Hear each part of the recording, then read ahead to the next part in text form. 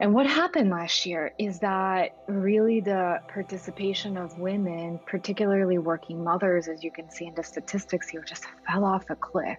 And it was heartbreaking. 2.3 million women left the labor force in the US alone, and that's compared to 1.8 million men. So it's not that, oh, men were untouched women were significantly more impacted. And I saw recently a Time magazine article that said, you know, this put us actually back in reaching equality something like 36 years. So now for women to eliminate the pay gap, to eliminate the gap in just titles and positions is not 136 years. I hope to live a long time, but I'm not, I'm probably not going to live to see that. And that breaks my heart. And I, I really, really desperately want to change that.